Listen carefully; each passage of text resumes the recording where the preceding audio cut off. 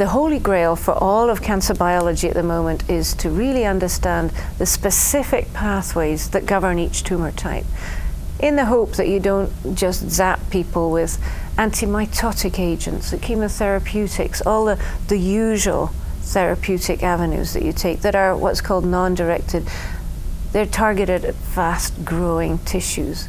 So that's a problem because we've got lots of fast growing tissues in us. So the side effects are multiple.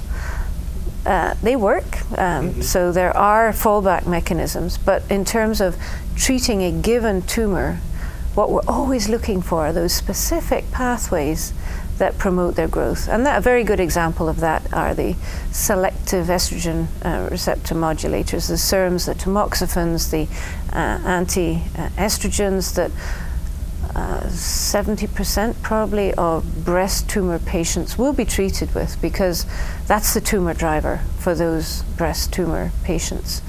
The basic research community meets with the clinical, the medical oncologists, and the surgeons regularly and they are the people charged with dealing with Mrs. X that comes in and might die um, if of the brain mets. So there is a very immediate that really brings our attention up to the uh, up to uh, a real focus, I think, because there are real people on the end of this, and and so even though, I, for example, my lab will proceed very much on a basic research mechanism, we always have an eye to the translational application, uh, to trying to understand the process and make sure that anything that we find out can actually be adapted for use and that we do know the right people to go to and ask uh, if we actually think we've got a lead that might help.